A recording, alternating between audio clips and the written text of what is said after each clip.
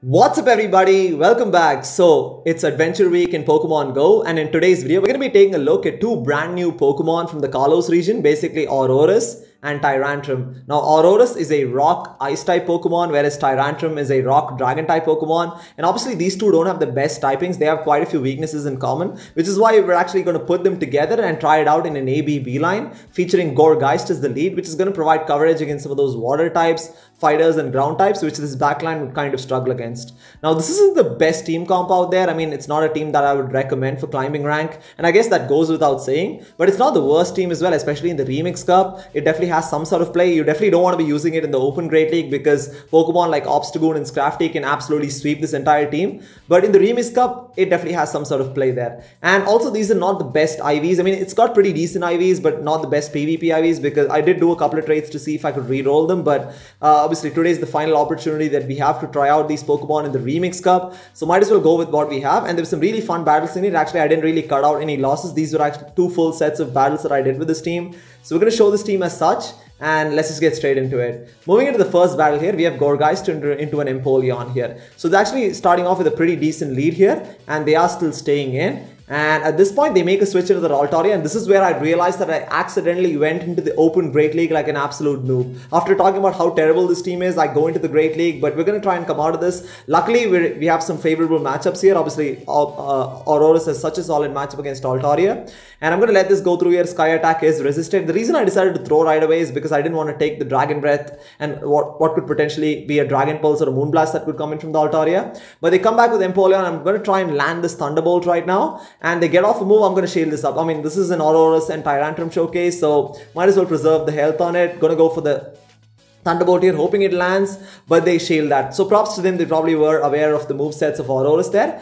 But I'm going to come back with my Gourgeist. We have so much loaded energy going straight for the Shadow Ball here. And this will near one-shot the Empoleon from this range. And as it does that, it, they survive like 1 HP. And they come in with their Mandibuzz. So this is perfect for, for me right now. I can come in with my Tyrantrum. And also I'm running Earthquake on Tyrantrum because I'm going to be using it as a save swap. And typically most people will not switch out Pokemon that are weak to Rock. So I might as well have that Earthquake to provide coverage against Pokemon like Registeel and Melmetal, right? But anyways, this is not a uh, such a favorable matchup, especially without Stone Edge for the Tyrantrum because Mandibuzz is so tanky. And I'm going to shield up this foul play here, but luckily we get the debuff with Crunch and these Dragon Tails are absolutely chunking as you can see there. I'm going to go for another Crunch right now. Crunch will almost KO the Mandibuzz from this range. Actually doesn't quite take it out. They try to snipe with Empoleon, then they fail. And we're going to try and Dragon Tail down and it ends up being a simultaneous KO there. So they're probably trying to farm down and then get off a move on the Gourgeist. But Gourgeist had a lot of energy and Gourgeist obviously wins CMP against Mandibuzz, so we would have won that anyways. Moving into the next one here, we have Gourgeist into a Poliwrath. This is something that you definitely want to catch on the lead because the backline would really struggle against a Poliwrath. I'm going to let this go through, hoping they don't have Ice Punch, but they do have Ice Punch, which is unfortunate. So we are going to stay in here, and this is going to be the second Ice Punch, and I'm going to start shielding right now. Obviously, Gourgeist does beat Poliwrath even if they have Ice Punch, we do beat them in even shielding scenarios. So going for the Seed Bomb right here, obviously doing super effective damage, should probably get the shield. And because we overfarm quite a bit, I'm going to actually throw one extra Hex and then go for another Seed Bomb here. Let's see if they want to give up two shields in this matchup. And if they give up both shields, I'm actually going to mirror shields as well. I'm going to shield this up because like I said, I do not want my backline to see a Poliwrath here. And now they make a really nice catch onto their Kanto Ninetales here. That's absolutely brilliant play on their part. But the good thing is we have Tyrantrum. Tyrantrum is an absolute wall to fire types because it double resists fire type moves because of that dragon rock typing. And as you can see, Weather Ball does almost nothing and we can completely farm down with Dragon Tail, right? Most Alolan Ninetales is running the double fire moveset of Weather Ball and Overheat, which ends up working out perfectly for Tyrantrum because we're able to come out of this matchup with so much energy. And if Poliwrath comes back in as it does there, we're going to be able to go straight for the Earthquake right now, doing massive damage against Poliwrath and taking it out. And they have a Charmer in the back. Now, this can be pretty tricky because Clefable is quite tanky. And also, Meteor Mash has the potential to one, one shot an Aurorus, right? Because Aurorus being double weak to Steel because that Rock Ice typing. But again, the good thing is Aurorus with Powder Snow and Weather Ball is going to be able to outpace Clefable here. So, going to be able to get off the second Weather Ball right now. And this is almost going to put take out this Clefable, puts it extremely low there. And one extra Powder Snow is going to take it Even if they had gotten to a move, he still had a Gourgeist to clean up. So, uh, yeah, that was a pretty good start to this one here. So moving into the next one here, we have Gourgeist into a Tropius. Now this is where the reality starts to kick in because we were actually 2 and 0 in the set and I was like, yeah, we uh, I, I, thought this team would probably end up working out better than what I originally thought it would. But honestly, like like you can see that this, I mean, they actually make a switch into the Alolan Golem, which is actually not terrible for uh, Tyrant, Tyrantrum, I should say. Uh, but I'm going to try and get to the second crunch. They, they were actually trying to farm up quite a bit of energy there, but Rollout honestly doesn't really do too much damage as a fast move, so we're able to get to the second crunch right now. And they're going to go for a move. I'm to fully let this go through here. Uh, probably going to be a Wild Charge, but they actually decide to go for Stone Edge. They're probably running the double nuke move sets of Stone Edge and Wild Charge. So Stone Edge has I mean, it, that's actually smart play on their part to actually go for Stone Edge because Stone Edge doesn't debuff them. But the good thing is Gourgeist is a pretty solid matchup against Alolan Golem, right? So going to be able to come back in, going for the Seed Bomb here. Gonna take out the uh, Alolan Golem. They make a switch into their Tropius and now they come in with their Melmetal into my um, Aurorus. Now this is absolutely terrible. We're getting straight up hard countered right now. I needed to win switch advantage because this is an absolutely terrible matchup. I shield the first one because Superpower has the potential to one-shot because we are double weak to fighting because of the Ice Rock typing. But this is not looking good at all because this Melmetal is absolutely loaded right now. And even though, as you can see, Thunderbolt did not, you know, that is about 50%. And at this point, I'm going to go for the Weather Ball to just chip away here. And my hope is to bring it down into farm down range so that I can farm up with my Gourgeist here, right? They're going to get to a move that is absolutely fine. I'm hoping that, you know, they don't switch out of this matchup because I really need that energy advantage on Gourgeist. But they they they played really smartly there. They immediately switched into the Tropius and this is looking very, very tough right now. And I'm going to go for Shadow Ball. Is Shadow Ball going to be enough to KO? It's not going to be enough. Tropius is unfortunately super bulky. And also, I mean, on top of the fact that the fact that they're running Air Slash and Aerial Ace moveset, it's, it's going to make it very difficult, right? They're going to be able to farm down here. And yeah, we're going to take, uh, yeah, that's going to be the first defeat there. So very well played by them. I mean, I think, I think they played that game absolutely perfectly. But moving into the next one here, we have Gourgeist into a Ferrothorn right now. Now, Ferrothorn is obviously uh, kind of a tricky situation for the backline because it does pretty well against, I mean, it, it does really, really well against uh, Aurorus uh, and does pretty well against Tyrantrum as well, right? Because those Dragon Tails are resisted. Uh, Gourgeist is obviously my best response to a Ferrothorn, especially if they're not running any steel moves, right? As you can see, both grass and electric moves are resisted in this matchup. They probably should be going for Power Whip because that's more energy efficient. Uh, they do go for Power Whip right there, and I'm going to overfarm quite a bit and then going for the Seed Bomb here. I still need to preserve my Gourgeist just in case they have a Mud Boy in the back or something. I need to still have that energy on Gourgeist. So immediately going to come in with my Tyrantrum and soak up this move here. Power Whip is going to do a lot of damage right now. It's As you can see, does about 60% of Tyrantrum's health and we bait out the Melmetal there, which is exactly what we want to see because we don't want the Aurorus to go up against a Melmetal again. Uh, Tyrantrum has a better matchup obviously against Melmetal because you can at least hit for neutral with Crunch and Earthquake. I mean, you can hit for neutral with Aurorus as well, but obviously Aurorus is double weak to fighting and Superpower is obviously such a big threat, right?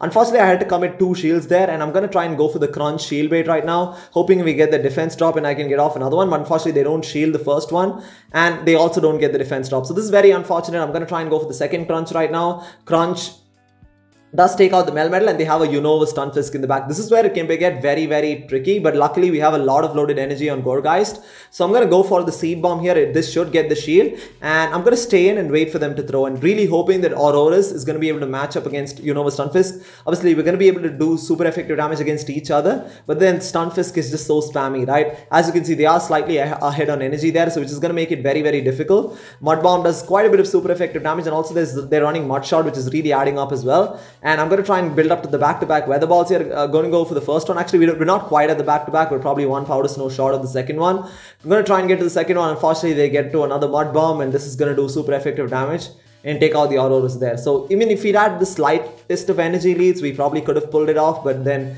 you know, with Stunfisk in the back is always a difficult Pokemon to go into. Moving into the final one of the first set of battles here, we have a Kommo-o on the lead. Now this can be very, very difficult again because these Dragon Tails will absolutely chunk the backline as well, especially against Tyrantrum. But I'm going to soak up a Dragon Claw and then go for the Shadow Ball right away to hopefully force a shield or do massive damage against this Kommo-o here. It does get the shield. I'm going to come in with my Tyrantrum and as you can see, we're taking so much damage from Dragon Tail. We're also dealing quite a bit of damage as well, which is nice. And because we snuck an extra Dragon Tail through, I should be able to farm down here. But they make a switch into the Serperior right now. And now I can just go for the Crunch. This is not the best matchup for, uh, for Tyrantrum because Serperior is just so tanky and then also these grass moves are going to hurt quite a bit. I'm going to let this go through here. I'm just fully fine. I have to save a shield towards endgame. So I'm going to come in with my Aurorus right now and I'm going to try and go for the powder snow, farm this thing down. I actually go straight for the weather ball on the CMP here because I'm, I'm going to try and force them to shield as well. And they do shield that, which is perfect. And I was trying to catch a move and it ends up being a CMP as you can see there. And I'm going to shield this up because obviously grass is super effective against Aurorus. And I'm going to farm up quite a bit. At this point, I realize my Aurorus is probably my win condition. I'm going to try and catch on my Gourgeist. I probably could have thrown the uh, weather ball and taken out the uh, Serperior, but I'm hoping that whatever they have in the back is weak to Aurorus here.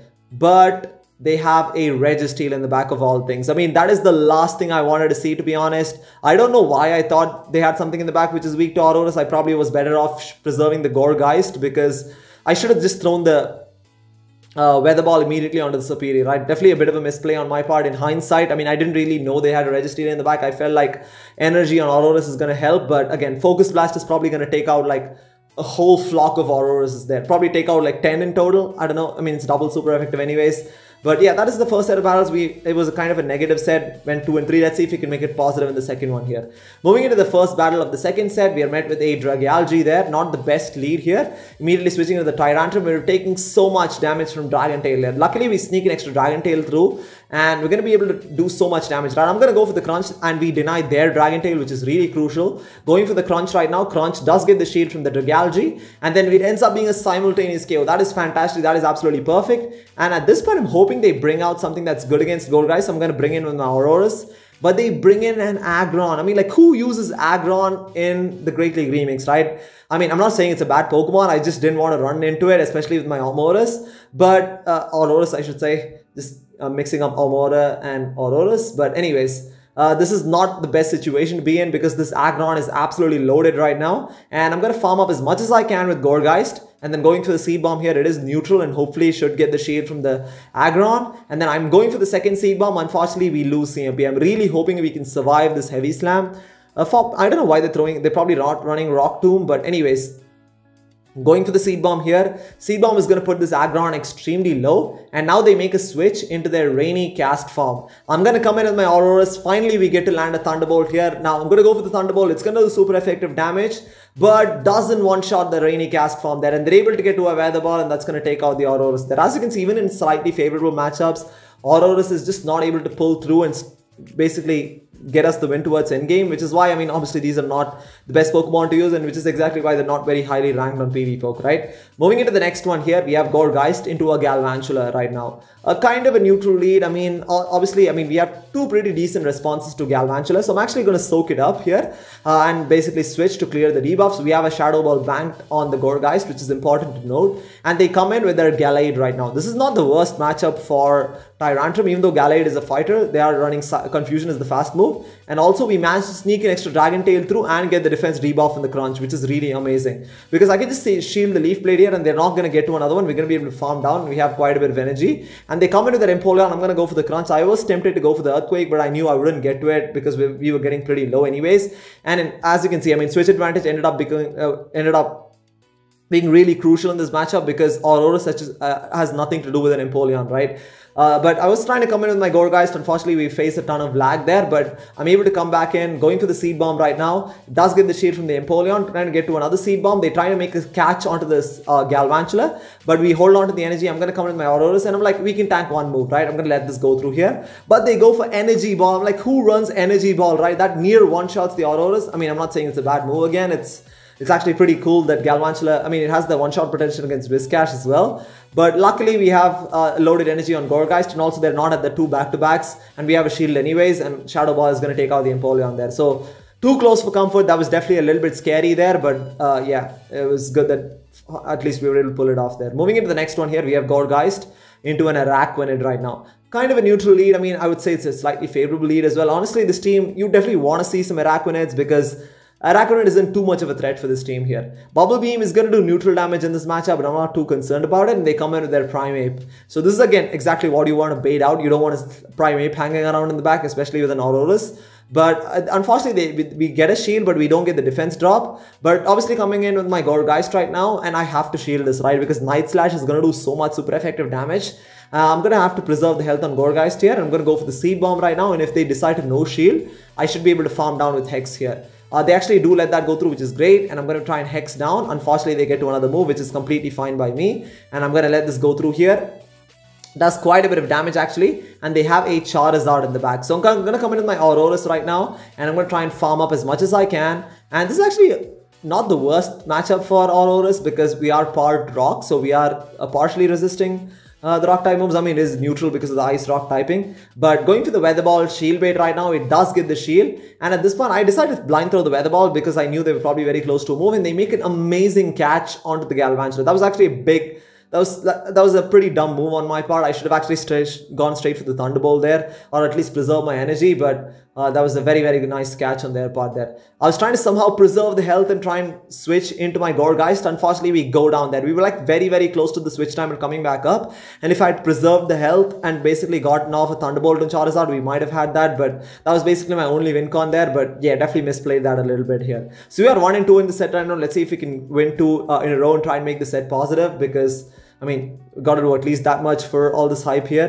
Uh, moving into the next one here, they actually make a switch into their Meganium. I mean, Poly, uh, Politoed is something you definitely want to see on the lead. It's a good thing we got that on the lead. And even though we're taking super effective damage from the grass moves, Aurorus is going to be able to significantly outpace Meganium, right? I mean, also these powder snows are really adding up as well. Going for the weather ball right now, going to be able to get to the second weather ball here. And this is, again, like I said, either going to get the shield or take out the Meganium. It, they do let that go through, which is fantastic because we won back switch advantage. And they have a Smackdown Shadow Tyranitar here. That's a very, very cool, spicy pick. But going for the Weather Ball here, uh, and at this point I can come in with my Tyrantrum, right? Uh, because I need to preserve the Gourgeist for the Politoed in the back. And I'm going to shield this up because Crunch is going to do a lot of damage in this matchup. And now they make a switch into their Politoed and they don't have enough energy for a Blizzard. I'm going for the Seed Bomb here. Again, this is a Shadow Politoed. It's going to do so much damage against it. Almost, I mean, does about 60% of Politoed's health. And they are trying to build up to a Blizzard. They don't get to it in time. I'm able to get to another Seed Bomb and this game is over because, uh, yeah, there's no way uh, Tyranitar can farm down a Gourgeist, right? So that was actually one of the interesting matchups. It was Tyrantrum versus Tyranitar. And I guess you can say Tyrantrum came out on top. Uh, but it was nice to see, I guess. Moving into the final battle, I believe, of the video, we have a Midnight Form Lycanroc on the lead. Always a pretty cool pick. I mean, I absolutely love Midnight Form Lycanroc, but this is actually a pretty favorable matchup. It's a good thing we caught this on the lead because it's a counter user, and you definitely don't want the backline to go up against it, right? Uh, I'm going to shield this up in case it's a crunch, but they bait with Psychic Fangs, and now they make a switch into their Vigoroth. Now I have no choice but to stay in. This is also another counter user. And also Gourgeist is such a solid matchup against Vigoroth because everything in Vigoroth's moveset is either resisted or double resisted, right? And the good thing about being a grass ghost is that you're also going to resist bulldoze, which is really nice. And I definitely cannot switch out into my Aurorus or uh, my Tyrantrum against this Vigoroth here. So I'm going to stay in with my uh, Gourgeist and try and farm up and basically spam as many seed bombs as I can. Really need to get rid of this uh, Vigoroth as soon as possible, but they shield that and they're going to get to another body slam here. This is fine. Uh, this probably could be a bulldoze as well, but expecting this to be a body slam, which is double resisted. And we face a bunch of lag here. I'm going to try and snipe with Tyrantrum, hopefully farm it down, but they get to another move. This is going to be a body slam. It is resisted by Tyrantrum because of the rock typing. And we should be able to farm down here and what let's see what they have in the back. And they have their Whiscash in the back. Now this is exactly why i needed to preserve the Gourgeist looks like Gourgeist had to pretty much carry this entire team. But let's see what we can do with tyrantrum here. Unfortunately crunch doesn't get the debuff but as you can see these dragon tails are absolutely chunking and also this Whiscash gets a bit greedy. They try to farm down but i'm able to get to another crunch here and this crunch gets the defense drop. They try to farm down but they're not able to. We wasted a bunch of energy. This Whiscash easily had over 100 energy there and this game is pretty much over right now because yeah, I mean, Midnight Form Lycanroc had no health in the back there. So it was it would have been interesting if they had decided to throw instead of farming all that much. But uh, anyways, like I mentioned, we finished with a 3 and 2 set, which is not all that bad for this team. Obviously, I did make a few mistakes here and there, but uh, definitely not the easiest team to use out there as well. So uh, looking forward to trying this team out in the Ultra League, hopefully with Trevenant in the lead. I feel like this team could be even better in the Ultra League, but stay tuned for that uh, in tomorrow's video, hopefully. But anyways, guys, thank you so much for watching. Do leave a like and subscribe uh, also if you want to, if you haven't already. It does help the channel. And uh, yeah, until next time, take care.